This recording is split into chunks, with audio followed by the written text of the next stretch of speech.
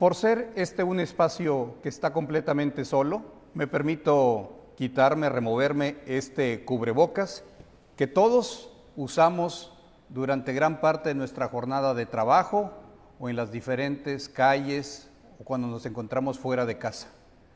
Estimados nigropetenses, durante las últimas dos semanas hemos estado trabajando arduamente, tanto con el gobierno de México, a través de las Secretarías de Economía y del Trabajo, como con el gobierno del estado de Coahuila, a diario, junto al gobernador y los diferentes secretarios de Trabajo, de Economía y de Desarrollo Social, buscando llegar a un consenso que podamos llevar a la práctica de cómo llevar a cabo nuestro cuidado en materia de salud, que sigue siendo lo más importante, pero ya empezando a abrir la economía de esta nuestra casa.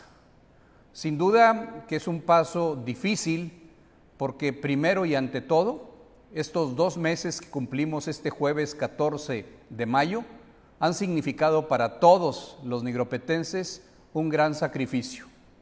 No solamente aquellos que han tenido que dejar su trabajo, su empleo, producto que donde trabajaba o su empresa, por pequeña que ésta sea, fue cerrada.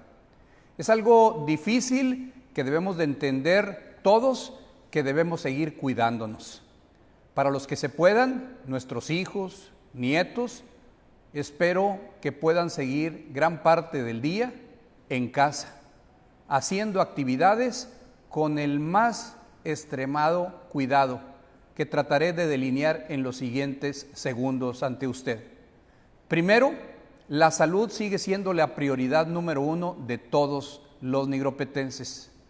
Como lo he dicho en mis pasados mensajes, no es para festejar, pero afortunadamente hasta el día de hoy, 34 personas contagiadas es afortunadamente un número bajo.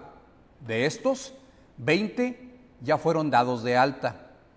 Afortunadamente, el resto evalúan y siguen adelante en su recuperación satisfactoriamente, mientras que lamentable, solamente Piedras Negras ha registrado un deceso.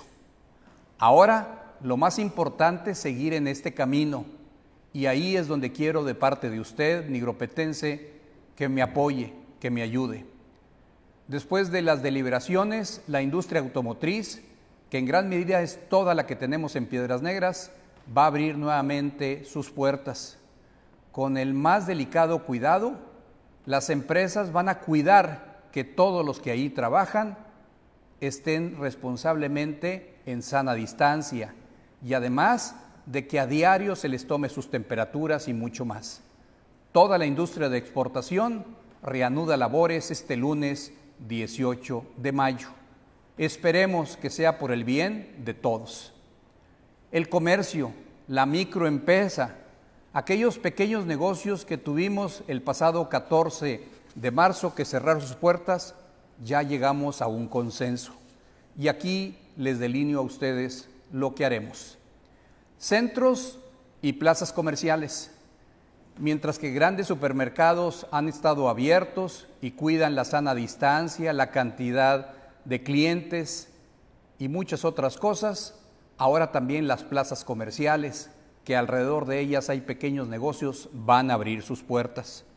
Sí, en su totalidad, pero lógico, la nueva normalidad de lo que se habla, siempre con filtros sanitarios en las entradas de todos y cada uno de los establecimientos. Mantener la sana distancia de dos metros entre uno y otra persona y lógico, algo que durante meses será parte de nuestra indumentaria, perdón, el cubrebocas.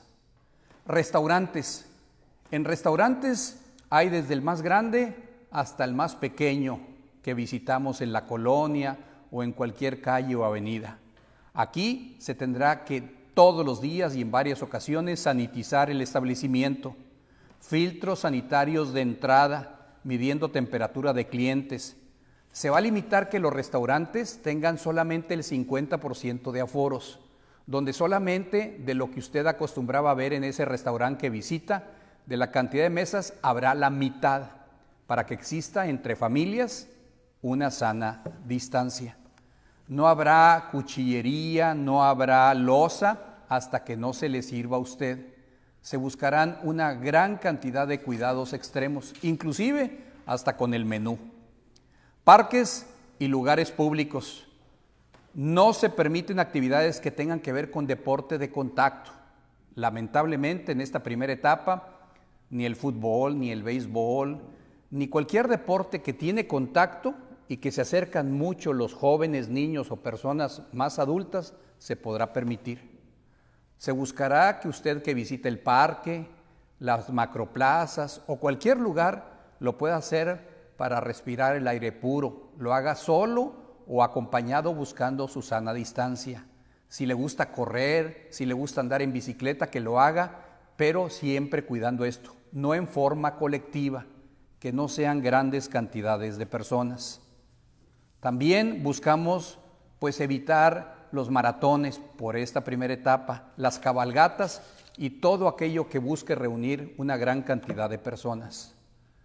Un tema muy importante, la micro, la pequeña y la mediana empresa, el negocito, por chico que sea, tiendas, salas de belleza, estéticas, peluquerías, boutiques, tiendas regalos, mueblerías, zapaterías, refaccionarias, tiendas de accesorio, joyerías, etcétera, etcétera. Micro y pequeña empresa. Sanitizar su establecimiento. Recibir a los clientes a la entrada con gel antibacterial, cuidando la cantidad de personas que pueda usted tener dentro del establecimiento. Los negocios que por su giro lo permitan trabajarán, si es posible, con cita, como podrían ser quizás estéticas, siempre en la sala de espera, cuidando que no sean más de las personas que den una sana distancia. Las actividades profesionales, despachos contables, de abogados, consultorios dentales, notarías, consultorías y todos aquellos negocios que tengan salas de espera, también cuidar la sana distancia y que si en una sala normalmente estaban 5, 8, 10 personas, que sea la mitad. Cuidado también con los filtros de entrada. Después de las actividades profesionales, los eventos privados, los festejos, lo que se acostumbra mucho en las colonias de las loterías, velorios, sepelios, buscar que no exista una gran concentración de personas en un velorio, que sean 10 o menos y que se vaya pues saliendo y entrando las gentes. Las loterías en las colonias, cuidemos mucho lo que hemos pues ya logrado hasta este momento loterías no más de 10 personas y de sana, sana distancia. Sería muy importante. Mercados al aire libre como las pulgas, el comercio informal, los ambulantes, el transporte urbano también. Sanitizar y cuidaremos que todas las unidades de transporte se saniticen varias veces durante el día, constantemente que se estén sanitizando. Pero también usted nos puede ayudar mucho los propietarios de los mercados, que pueden ser pulgas, vamos a permitir que renten los espacios, pero permitiendo espacio entre uno y otro. Y que el que tiene ese pequeño negocio también cuide que existan solamente una, dos, tres personas viendo y con sana distancia. Es importante que todos pongamos de nuestra parte. Las celebraciones religiosas, quien acude al templo, quien acude a una parroquia, a una iglesia. Ya hay un protocolo que las propias iglesias han elaborado, como en el resto de las actividades que acabo de mencionar, que se va a cuidar punto por punto. Que si entraba por goteo a esperar pues la celebración o la misa, se seguirá haciendo, pero dentro de ella habrá espacio entre cada persona sentada. Al momento de salir, lo harán por diferentes lugares que estas iglesias, parroquias o templos, junto a sus pastores o sacerdotes, les darán indicaciones. Las bodas, los 15 años, los bautizos, las graduaciones, las primeras comuniones, las piñatas en salones de eventos y lugares públicos, por este momento no se van a permitir. Eso no significa que en su casa usted no pueda llevar a cabo una piñata. Cuide todo lo que hemos logrado hasta este momento. Que existan solamente pocas personas y que exista una gran distancia entre uno y en otro. Clases de zumba, yoga, aeróbics se van a permitir, pero en lugares que no concentren más de 10 personas que existan tres metros entre cada uno de ellos. Lo que no se va a permitir, porque se usan muchos aparatos en esta primera etapa, es los gimnasios. Creo que cuento con la comprensión de todos de que hay cuestiones que no se pueden en este momento permitir. Otros lugares que concentran a gran cantidad de gentes, auditorios, galerías, espectáculos masivos, bares, cantinas, discotecas, antros, gimnasios, como mencionaba, albercas, en este momento y en esta primera etapa no se van a permitir. Los cines, los cines tampoco. Pero entendamos que será momentáneo. Si en menos de 15 días que revisaremos la segunda etapa se sigue manteniendo el control de este contagio, sin duda que lo que acabo de mencionar, que en esta primera etapa no se va a permitir, podríamos ya valorar el aperturarlos. Creo contar con su confianza, creo contar con lo que usted más quiere, su familia. Si nos cuidamos, nos va a ir bien. Hemos visto en otras partes que se ha abierto la economía y que se han disparado los contagios. Es lo que no queremos en Piedras Negras.